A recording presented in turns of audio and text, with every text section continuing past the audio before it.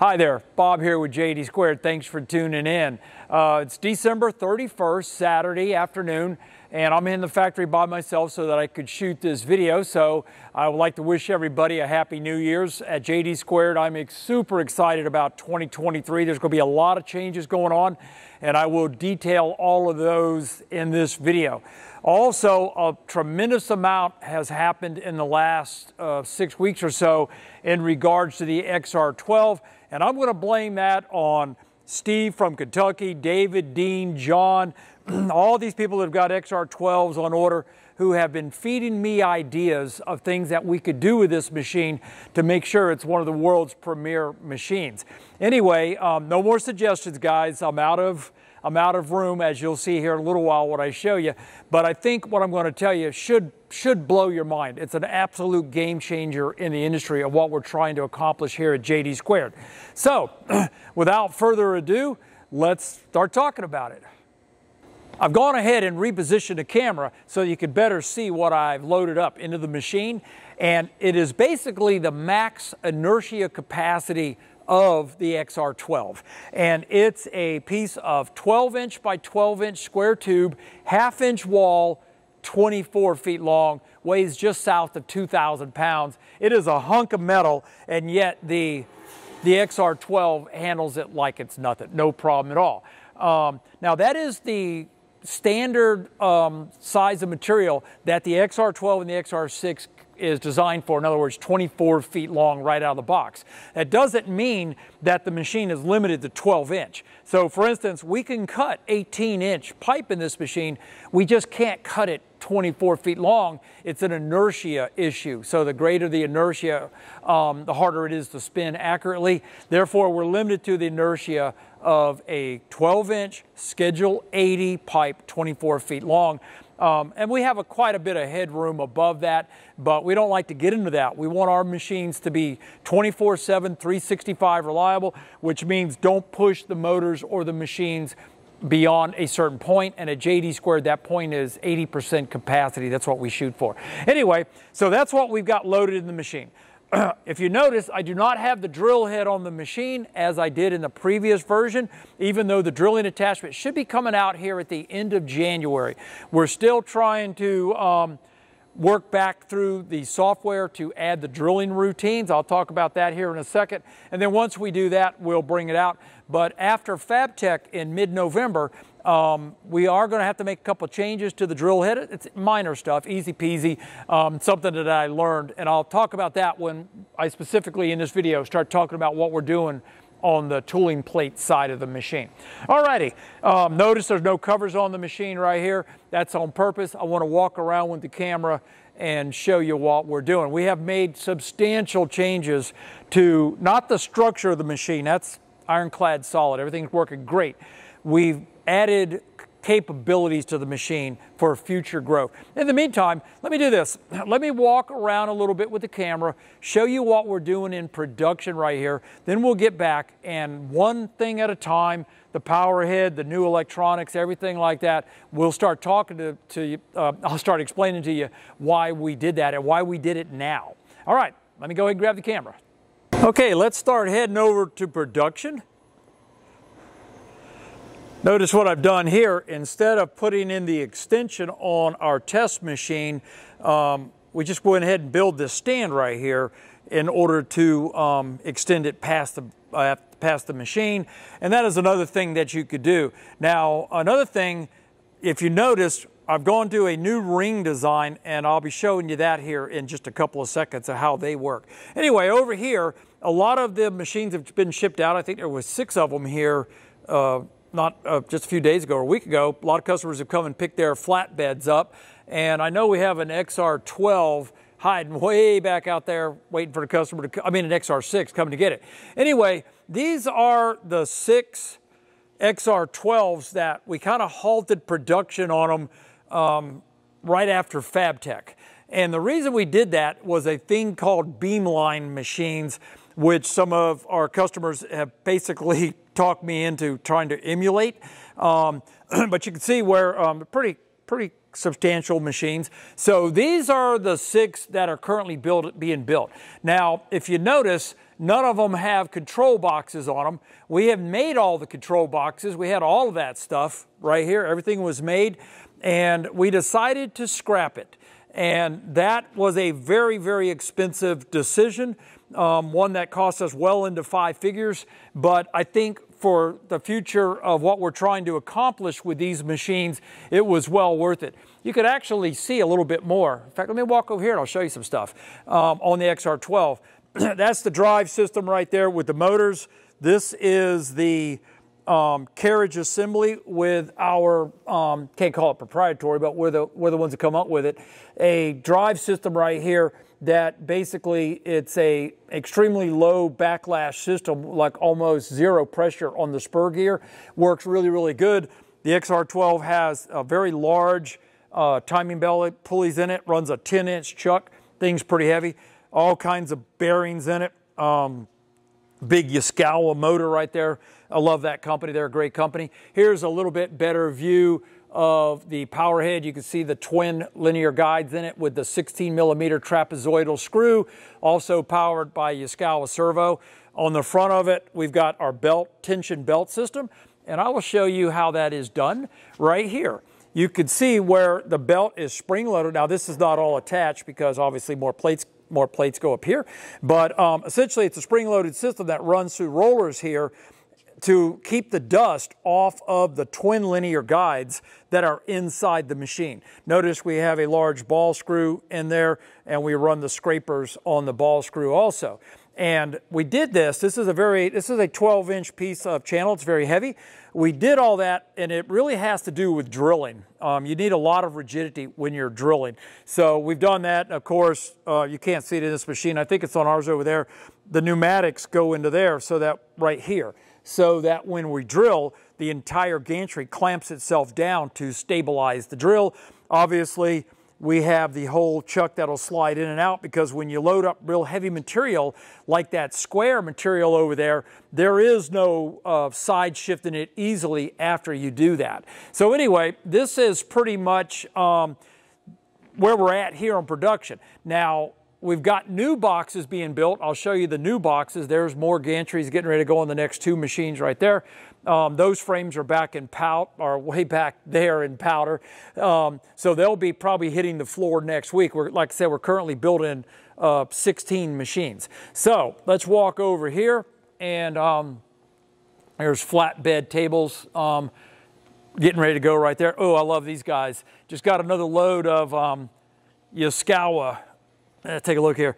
That's a beautiful, beautiful sight right there, guys. That's Yaskawa servo motors and amplifiers. We absolutely love that company.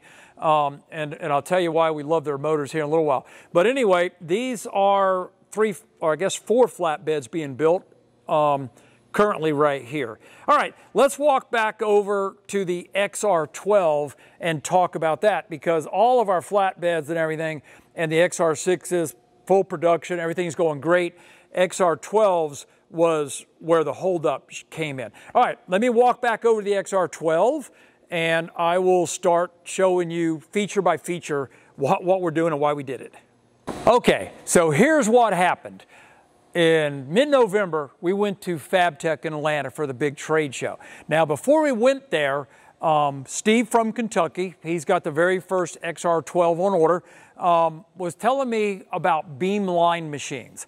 Now, what a beamline machine does, if you don't know, because I didn't know, is it basically is what handles all of the I-beams and a lot of structures are done on beamline machines. Now, these machines are giant, they're big, they're huge, and they are incredibly expensive, average around 800,000 to a million dollars. And what they are is basically picture this cube like an enclosure, and inside the enclosure, they have a robotic arm. Now, they have a shuttle system on it, so let's just say you load up a piece of 16 inch I beam.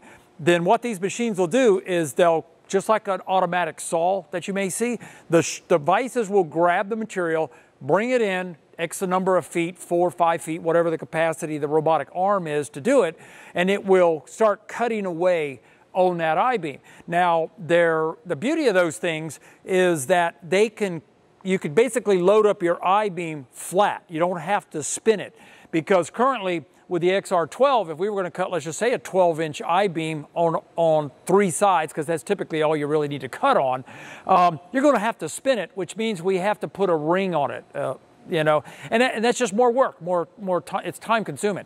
So a beamline machine is better at processing uh, I-beams and channel and everything like that than the XR12 when it comes to convenience because you don't have to put the ring on it.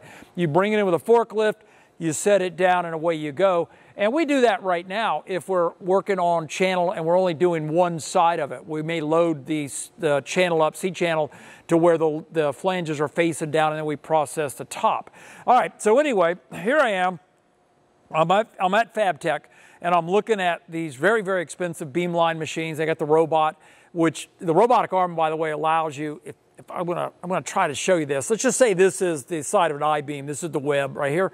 The robotic arm allows you to come around, cut the side, you know, come in, cut the inside, and then cut the other side.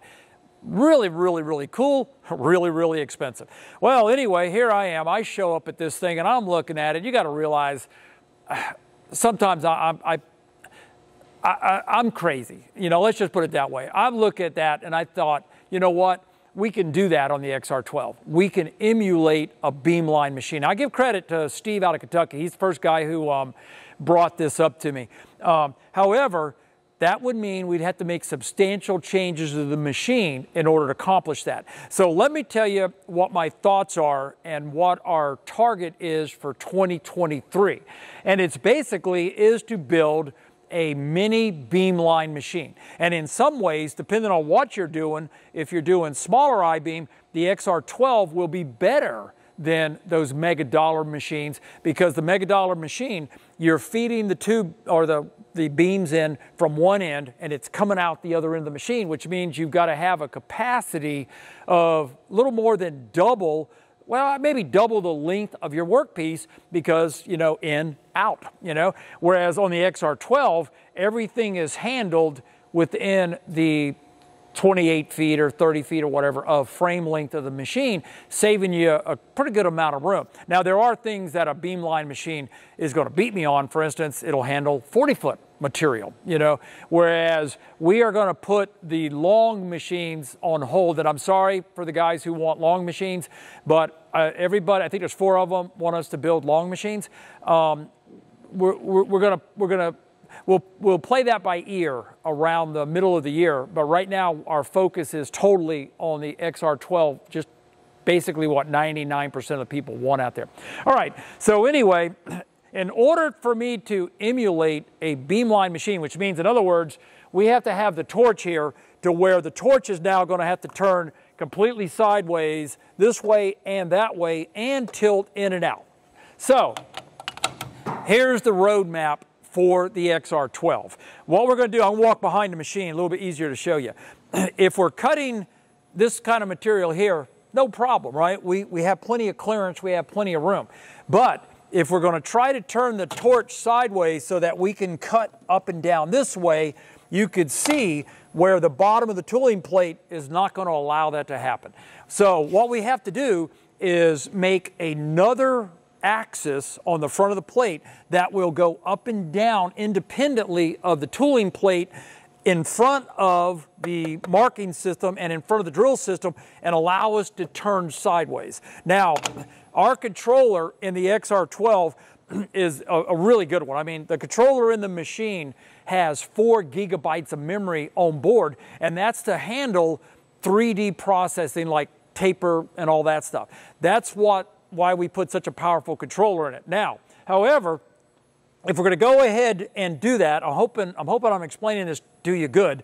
So not only will we have a z-axis here that will go up or down, and you see it right here. Um, I don't have my glasses on. You get it. Um, it'll go up or down. We have to slave another servo on it to drive that axis because they've got to be coordinated with each other. That's not a problem with the new controller system that we're shipping on all of our machines because we can control 32 motors, nine of them coordinated with each other, nine synchronized axes. So that becomes a no-brainer. Now it's going to be a really fun engineering challenge to design this because we're limited to the amount of room that we have. Now, yes, I could build bigger tooling plates. That's no problem.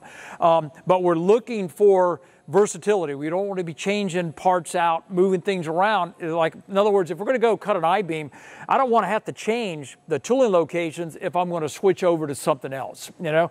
So I'm very conscious about that. So anyway, that's our plan. Now, that means that we have three axes up and down on the tooling plate, in and out, and uh, obviously up and down the machine. That's three, right?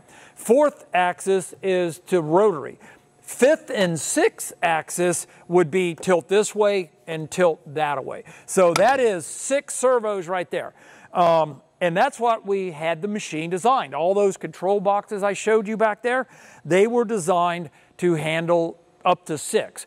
And then we ran into FabTech. And I started thinking, um, if we emulate beamline cutting, what we do is it's a game changer because we open up the market because we're guessing that that attachment now it's not going to be a cheap attachment don't, don't get me wrong it, it's, it's probably going to punch in around thirty to forty thousand dollars it's a lot of money um, so by the time you add this machine to it let's just say currently the price of this machine it's still selling at the 79.9 price uh, list for 89.9 now that may be going up later but no hurry no hurry um, so it's 80 grand now. So you're looking at 120 grand. What's better, 800 grand or 120 grand? Now, um, it's an expensive attachment because there's a lot involved with it. There's, there's more servo motors, there's a whole lot going on, but also the software is um, pretty doggone tricky. Um, so anyway, that's what we're going to do to emulate, emu, emulate a beamline machine, and that's why we stopped production on the back back there, because to do that, we had to substantially increase the size of the control boxes in the machine. For instance, the cable carrier right here, we had to go to a larger cable carrier in order to handle all the extra wires and everything that we're going to be using to do that. Now, when we did that, we also thought, let's go ahead and make it extra big in case somebody later on down the road wants to run like a 300 amp um, plasma system or something like that with a big two inch body and a bigger hose, uh, bigger um, cord. So we went ahead and we've increased the size of this, which meant everything that we built before, all of this, all of the plates, all of the control boxes, everything, even the, all the trays, all of it had to be scrapped.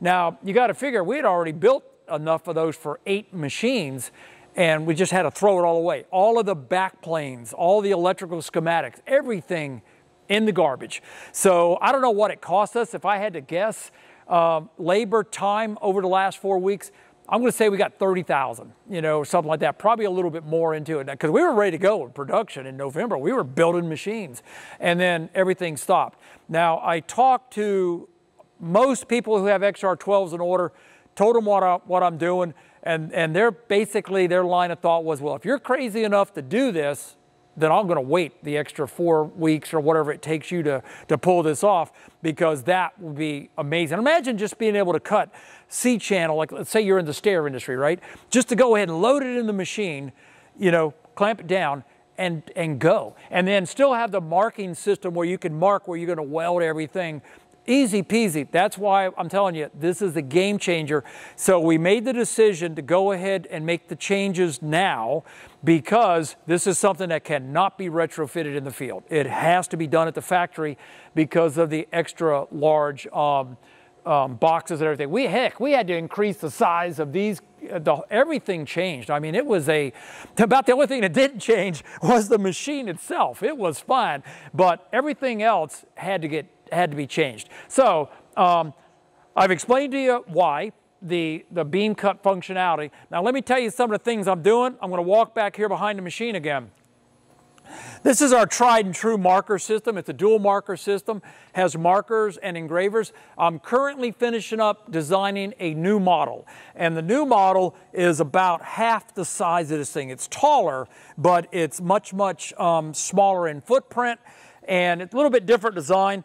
I've got it to made, made to where you could put almost any tool you want into it. And I've also got one of the toolbars. In, in other words, on this one here, I should have said this. On this one here, it's two marking systems. You got one on each side. I'm trying to move it, but it's under here. Under here. So you got two of them in one unit. The new design is independent units. So somebody in the future could go ahead and load up um, multiple units. So say for instance you were um, doing artwork and you had four different colors of markers and you wanted to I don't know, I'm just making stuff up, right? You can mount individual units into the machine because, as I mentioned in previous videos, our new control system is almost unlimited number of input outputs. Just keep adding them to the machine. It's all about real estate. How much room do you have to put this stuff in? So I'm about done with the redesign of the new um, of the new marker system, and I'm trying to shrink it down to give us more room to handle this torch. All right. Now another thing we're going to do. On a previous video, I was drilling 13 16 inch holes in the machine um, with, the, with the Hougen drill. Everything ran fine, right? Um, then I started thinking about it more. I got to quit this thinking crap. So I started thinking about it, and I and I thought, okay, maybe we want to be able to have the ability to put in two drill heads. So I'm working on that idea right now. But to do that, if you go to two drill heads, you now have to put. Now I'm going to use this. Just picture this as a drill head, right? So you've got one drill head here and one next to it, which means they have to be on independent slides up and down to clear each other. If you're running a single drill head like I did in the previous video, then you don't need any of that because the drill hangs down below this and if you're cutting pipe or something like that, you don't have to worry about interfering it because this whole torch will go up two inches and get out of the way. Everything's hunky-dory. However, if we're going to go to the Z-axis tilt system with the drill head in it, then we need the option of being able to mow, move that drill up or down before it starts drilling to basically clear all of the other tooling. That means that's another motor, that's another servo, another amplifier, another slide, the whole doggone bit. Now, we are going to have the standard drill, which we told everybody is going to be uh, $4,950. That's, that's no problem. So if you're cutting pipe, everything is hunky-dory, you're, you're doing good. But later down the road, if you wanted to put two drill heads in it, then you would need that slide up or down. Now, another issue where that comes in, let's say you've got a piece of I-beam and you want to drill some holes in the middle of the I-beam. Obviously, you got to clear the flanges from the drill head itself, but let's just say you wanted to drill holes in the flange. Well, you can't drop the drill into the I-beam because you're going to hit the bottom of the tooling plate on it. Therefore, that's where the other slide will come in because that'll allow us to get down into the I-beam and start drilling. All right, bottom line is that's another motor right there. So we've got three motors on the Mac Daddy head, the one that's going to go tilt. And I'm going to explain to you there's going to be five different, well, four to five different tilt head mechanisms. I'll talk about that in a minute. Anyway, so that's what we're doing on the drilling solution. Now, what happened at FabTech was we were talking to people. I mean, we were slammed the whole show, you know. Um, so that, that meant I wasn't paying attention to the machine, and we were drilling holes, 13, 16 inch holes at FabTech. Well, what happened is I didn't put enough oil on it, and um, the slug, and, and it came up, and we were only drilling one hole, so it wasn't a big deal. But when the drill came back up, the slug had not completely ejected out of the annular drill bit. It was still up in there a little bit, which would have caused major havoc if we'd have then gone over and started drilling a second hole. So the changes I'm making now to the drill assembly is we've added um, a switch to it to where when that whole thing ejects out, that switch will be triggered telling us that yes, the slug was ejected. And what happened is I didn't put enough oil on the bit while it was cutting. And the whole show, I was putting oil on it, everything was running fine. And then that one time I squirted a little bit on it to get it going, started talking to somebody, forgot about it, you know? So in order to solve that problem, we're doing, um, or to make sure it doesn't happen, we're doing three things. As I mentioned, we're adding a switch to it to verify the slug was ejected. We're also adding a pump to, to go into the reservoir that will come up and will spray coolant directly onto the drill bit as you're drilling. It doesn't have to be an annular drill, but it could be a quarter drill or whatever. Um, it will be putting it directly on it. Now, what happened um, was if you look at all of our videos, we're cutting with a Pico solution. We love that company also, great product. Um, it's green, it's a green color. So we called and said, hey, can we spray lubricant like cutting oil, you know, will it mess up your coolant? And they go, it absolutely will. It'll destroy it. So, but good news is we have a new one out that has lubricity built into it and it's blue in color. So we thought, all right, let's get that. So they sent us some of that. So that solved our problem. So now we can put coolant at the drill and it has lubricity built in it. Now another thing we added was to get the slug out of the drill, I had to, I just basically took a pair of needle nose and, and it came right out. You know, easier than pulling a tooth. So anyway, it came out. But what would have been nice was if I could have cycled the air cylinder up or down that is ejecting the slug and basically, you know, tap, tap, tap, tap, and just tapped it right on out of there. So we've gone ahead and on the electronics on this panel over here, and I'll bring the camera over here and show it to you, we've added a lot more capability on the machine to allow us to have that switch to where we can tap, tap, tap, tap if we need to do that. Now, in our control system, we will be adding the feature to try to re-eject the slug. So say, for instance, we're, we're drilling multiple holes and then somewhere um, the slug doesn't get ejected, right? So when she comes up, we're going to have the control system. It'll now know the slug hasn't been ejected because the switch was never triggered. Then we're going to go through a tap, tap cycle ourselves, tap, tap, tap. And then if it still doesn't eject, then the machine's going to fault out and say, hey, you need to um, remove that slug. And in the software, we're going to be putting in the ability to restart after that error. That's pretty important. We don't want you to have to go through the code to find it. So you could tell that the entire drilling solution is pretty comprehensive. It's a relatively um, uh, it's a good system, you know. Now, one other thing I may do on it, I'm thinking about going from a 32 millimeter air cylinder to a 40 just to give us a little bit more oomph, you know, to punch that slug out because it's pretty, it's pretty important.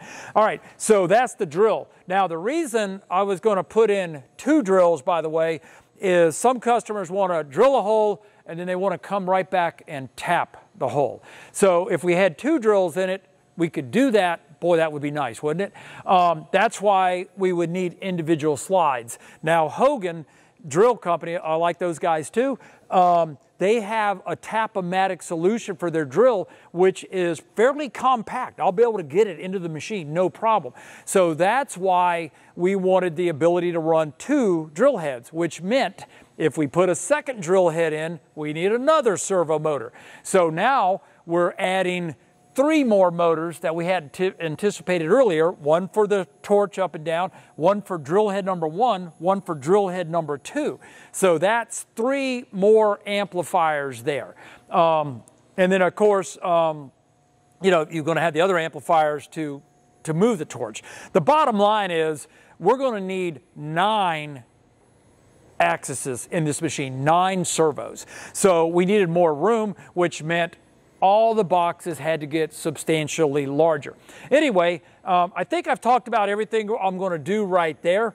Um, and, and, the cool thing about the XR12 and all of our new flat machines and everything is this tooling plate is replaceable. If I need to change a design, or let's just say a customer has got a, a specific application they need, well, it's no big deal for us to build a new tooling plate in order to accommodate their needs. Because remember, uh, I think I mentioned before, when I designed the XR12, it was a it was really we were building a platform. It wasn't designed to build be just a plasma cutter. I mean, we're gonna, you put a high-speed spindle on this thing, which by the way bolts right on, no big deal. Um, you're going to be seeing that here, hopefully, in a little while. I've been trying to get to it now for a couple months, and basically, I want to go carve a big wood statue. Um, so this machine is a true CNC rotary machine. So um, the bottom line is incredibly versatile. Now while I'm tapping on this aluminum plate, for you guys out there, some of the um, people may have wondered, we got a lot of tapped holes in it. These are not, these are all helicoiled with steel helicoils. Once again, it's all about reliability and quality. And I don't want you threading stuff in and out of an aluminum plate. For sure, it's going to strip. So we go to the trouble and I think there's 48 uh, 10 millimeter tapped holes that we helicoil every single one of them. It's all about building a good machine, guys. All right, let me do this. let me um, grab the camera and I'm going to walk around and show you the control boxes and everything, and then we'll talk about the new ring system that we've got over there to a little bit easier to handle a large material. All right, let me go ahead and grab that camera. Let's start over here with the new control box that is mounted on the gantry itself. Before, we had the 3 amps and we allowed ourselves room for two more amplifiers and that would have handled the complete tilt head solution. However, we've gone ahead and we've added room now for four more amplifiers. So up here, we can actually mount nine amplifiers on the head itself. Now, we only need eight for all of our proposed changes. Now, if you notice, We've gone to much larger wire, um, what they call wire channels or whatever. Um, and the idea being is we have to have the room now to add all of this future functionality, which almost all of it's coming out here in um, 2023, hopefully in the first half of 2023.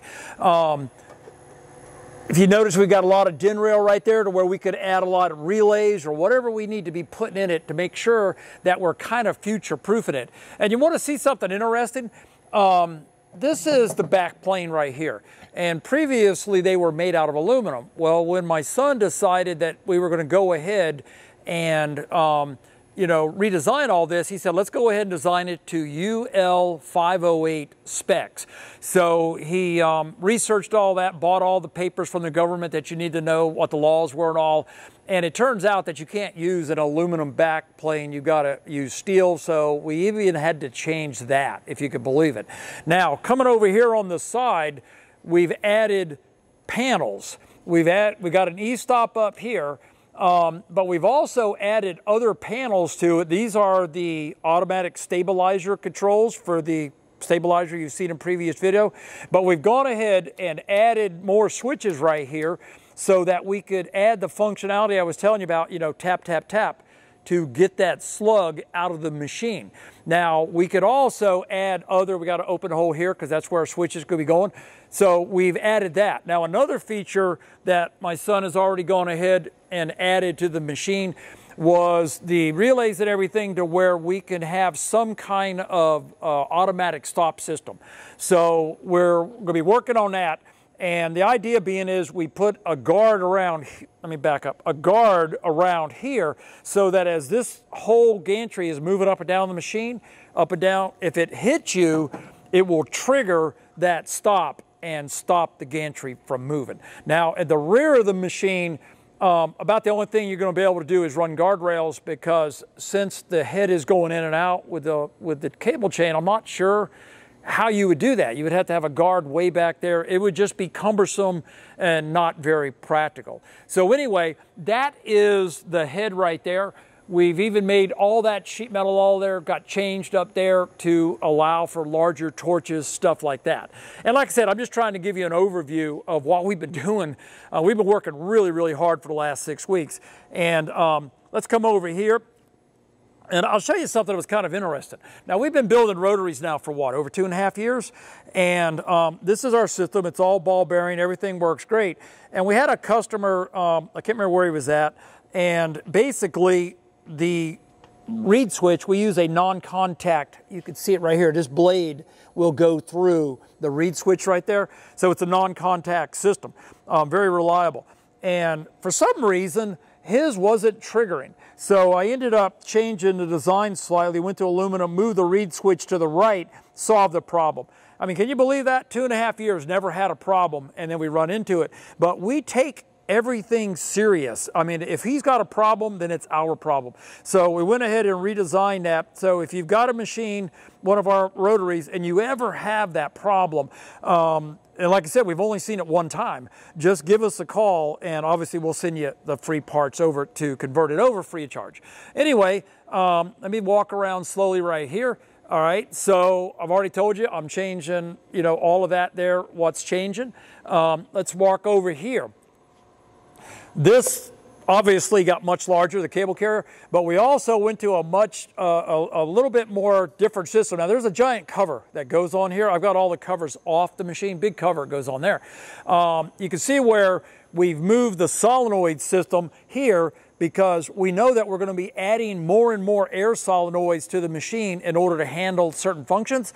So we wanted more room. So we've moved some of the stuff out of the control box yeah, I'm sorry, my hand was messing with the focus. Out of the control box, out here, and it's all covered all. So we've done all that right there. Now let's walk over here, and this is what really changed. I'm gonna back up a little bit here.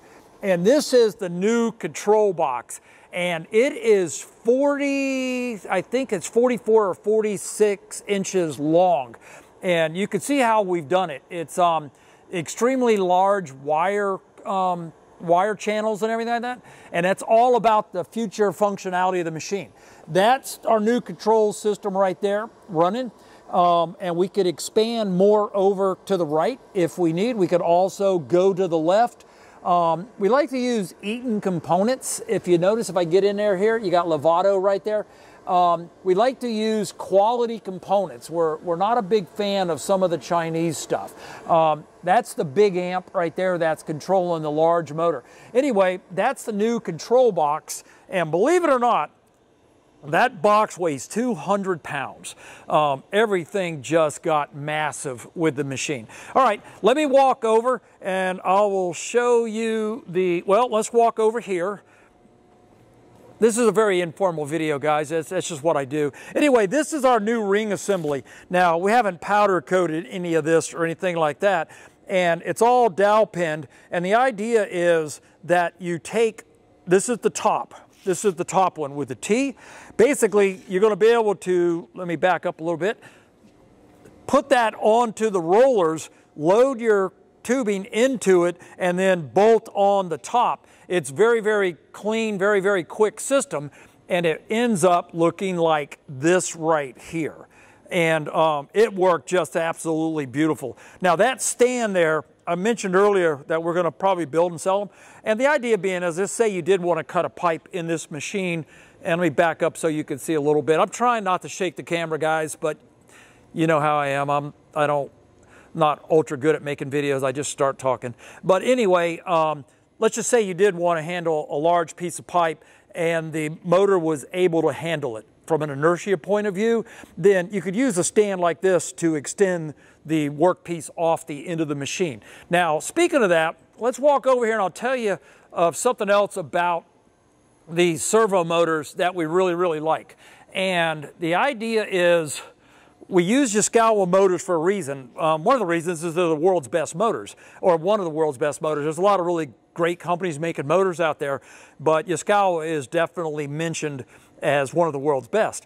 Well, with these motors, we can change the tune of the motor at the at the machine. So, so say for instance, um, we're going to be adding a feature to the machine so that when you are rotating big heavy material, we're going to want to retune the servo to handle that kind of inertia. So we'll have multiple tunes available. So if you were spinning very small tubing, let's just say three quarter inch or something like that, then that would really you would a better cut could be produced if the motor was tuned for that inertia deal. So we're going to be doing that here in the future to where we could actually adjust the motor on the fly. These are really, really good motors. Um, well, anyway, um, I think I've covered everything. Um, let me see, have I covered everything? No, I haven't. Let me go ahead and put the camera back on the stand. I'm, I'm sorry, I know it's shaking. Let me go ahead and put it on the stand so it's a little bit stabler. Is that a word, stabler? It's more stable. okay. Let's go ahead and talk about our tilt head plans for the XR12 and XR6. There's going to be four different versions of the tilt head, all varying, of course, in complexity and price.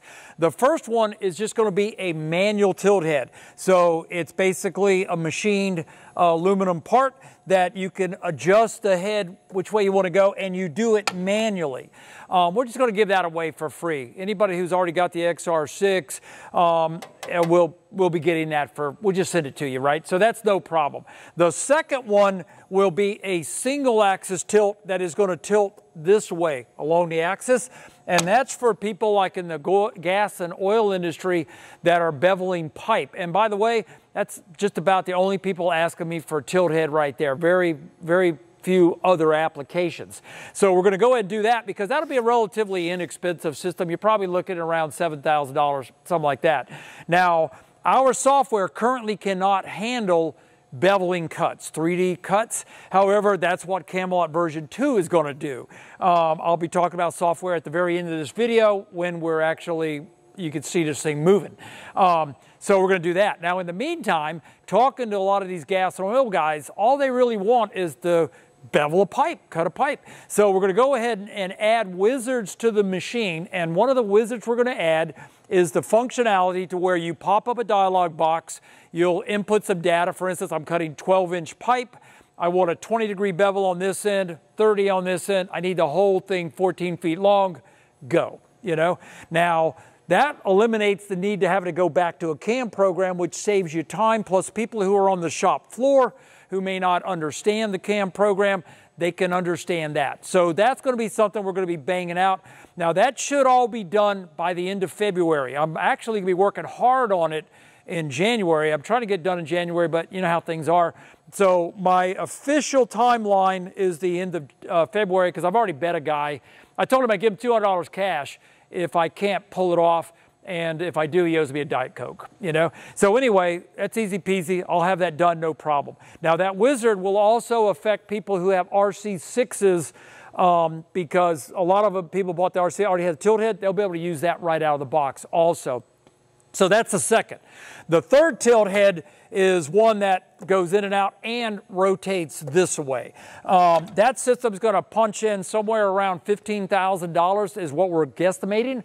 And um, it's really designed for if you're working with pipe, tubing, things like that, and you're beveling. Now, you could do it with other things. If you're spinning structural, it'll work there too. And then, of course, the uh, now that one I would like to have out in the second quarter of 2023.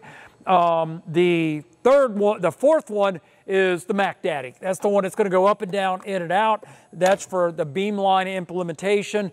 And hopefully we'll be beta testing that by the end of the second quarter also.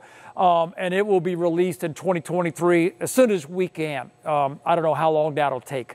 But anyway, that's our plans on adding tilt head to the machine. So figure basic tilt head functionality should be working pretty good in January.